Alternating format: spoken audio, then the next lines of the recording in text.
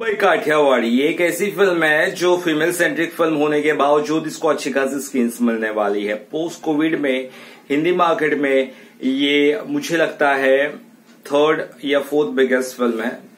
वो इसलिए क्योंकि सबसे बड़ी फ़िल्म थी कोविड के बाद की सूर्यवंशी ये हम भूल नहीं सकते हैं। उसके बाद एटी थ्री भी बड़ी फ़िल्म थी, लेकिन वो उस हिसाब से नहीं चल पाई, जिस हिसाब से हम उसका इंतज़ार कर रहे थे। तो थर्ड बिगेस्ट फ़िल्म है गंगूबाई काठियावाड़ी, जो वाकई में एक ऐसी फ़िल्म है जिसको लेकर लोग काफ़ी ज़्यादा एक्साइटेड है। और फीमेल सेंट्रिक फ़िल्म यानी गंगूबाई काठियावाड़ी, जिसे आप पता ही है Alia Bhatt main lead role play कर रही है। और, आलिया भट्ट की जो पिछली कुछ फ़िल्में थी, जैसे कि कौन सी थी वो? सड़क टू थी। इसके अलावा वरुण धवन के साथ कौन सी फ़िल्म थी वो? कलंक। वैसी था मतलब समझ शायद वही था नाम ना राइट? वो दोनों फ़िल्म नहीं चली थी है ना?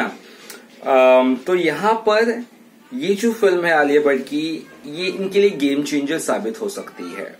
और बोलते ना सातों खून माफ़। यानी कि जो भी आलिया भट्ट ने जो भी परफॉर्मेंस की थी पिछले कुछ दोनों फ़िल्मों में हम सब भूल जाएँगे।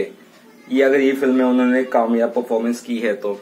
वैसे बहुत ज़्यादा सरप्राइजिंग मैं अभी तक नहीं हूँ आलिया भट्ट के रोल से, लेकिन ढोलीड़ा जो गाना है ढोलीड़ा वो गाने में जिस तरह से एक वन टेक शॉट है, डेढ़ दो मिनट का, जहाँ पे आलिया भट्ट नाचती है मतलब वो देखकर मुझे ताली बजाने का दिल किया। मैं सीरियसली बात कर रहा हूँ।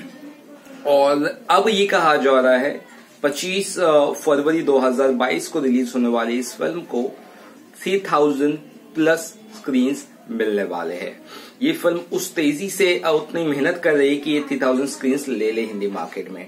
सूर्यवंशी को three thousand six hundred screen मिली थी। 83 को 3200 के आसपास सॉरी 3400 के आसपास, और इस फ़िल्म को 3000 स्क्रीन मिल सकती है। और ऐसा हुआ तो मान लीजिए कि बॉलीवुड में पाँच हज़ार के आसपास ही स्क्रीन बची है, साढ़े पाँच थी पहले। बाकी स्क्रीन जो बटेंगी, वो दो फ़िल्मों में बटेंगी वलीमाई जो 24 को आ रही है। पहले दिन वलीमाई को अच्छी स्क्रीन मिलेगी हिंदी मार्केट में, दूसरे दिन उसका जो एक इशू है, ज़रूर होने वाला है गंगूबाई काठियावाड़ी से।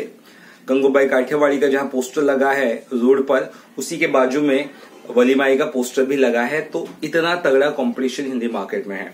अभी तक क्या होता था साउथ फ़िल्में हिंदी मार्केट में नहीं आती थी।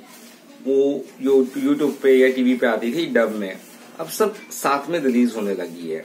तो सीधी बात है स्क्रीन के तो लफड़े हो। गई और स्क्रीन के लफड़े कैसे होते हैं, मैं आपको एक एग्ज़ाम्पल के तौर पे बता देता हूँ। ये एक ऐसा एग्ज़ाम्पल जिसको आप सच मत मानिएगा, लेकिन ये रियलिटी के एकदम करीब है। यशराज फ़िल्म मान लीजिए यशराज फ़िल्म की बंटी और बबली टू रिलीज़ हुई। ठीक है? अब ट्रेड वालों को पता है थिएटर वालों को पता है कि फ़िल्म शायद चलेगी नहीं। लेकिन उनके पास और एक फ़िल्म का ऑप्शन है हॉलीवुड की फ़िल्म का। तो यशराज वाले सीधा सीधा बोल रहे एग्ज़ाम्पल दे रहा हूँ मैं श्योरिटी मत समझिएगा। कि भाई तुमने अगर मेरी बंटी और बबली टू नहीं दिखाई तो मैं तुम्हें पृथ्वीराज नहीं दूँगा, मैं तुम्हें टाइगर सी नहीं दूँगा, मैं तुम्हें पठान नहीं दूँगा। और तुम्हें एक हॉलीवुड फ़िल्म के साथ जो भी करना है करो फिर। तुम तीनों चारों फ़िल्म तुम्हारे हाथ से चली जाएगी। तो झक मार के उस थिएटर वालों को बंटी और बबली टू दिखानी पड़ेगी। और उसे हफ़्ते, दो हफ़्ते तक थिएटर में रखना पड़ेगा, चाहे एक पब्लिक आए, दो पब्लिक आए पब्लिक ना भी आए। क्योंकि अगर उसने बंटी और बबली टू की जगह किसी हॉलीवुड फ़िल्म को दी तो उसको पठान टाइगर थी, बाकी और फ़िल्में यशराज की नहीं मिलेगी। तो ये ट्विस्ट होता है। तो इसीलिए थिएटर वालों के ऊपर भी बहुत ज़्यादा प्रेशर होता है तो आप समझ लीजिए, सेम तरह का प्रेशर अब यहाँ पर होगा। गंगूबाई काठियावाड़ी, उनको झक मार के लिस्ट करनी पड़ेगी, नहीं तो उस प्रोडक्शन हाउस की आने वाली फ़िल्में उनको नहीं मिलेगी। तो अब ये सवाल है, क्या वो गंगूबाई काठियावाड़ी को रिलीज़ करेंगे, या फिर वलीमाई फ़िल्म को रखे रहेंगे और ज़्यादा शोजू से देंगे? तो आई होप आप समझ गए होंगे मेरा कहने का मतलब क्या है। तो देखना होगा, ज़रूरी होगा, दिलचस्प होगा ये वलीमाई को कितनी स्क्रीन मिलती है, क्योंकि अभी तक पुष्पा स्लीपर हिट हो गया अचानक।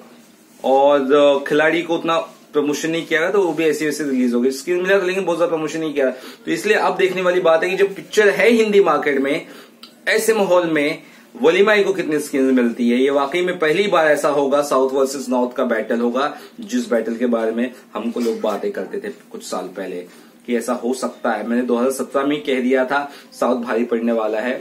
हिंदी फ़िल्म इंडस्ट्री पर, बॉलीवुड पर। आज वो हो रहा है। चलिए, फ़िलहाल कितने है दोस्तों? आपको कितने शॉकिंग लगी अपडेट, ज़रूर बताएगा and Mumbai Kathiawadi is planning to release in three thousand plus screen how excited are you do let us know video अच्छा लगा तो शाम को सब्सक्राइब करना ना भूलेगा।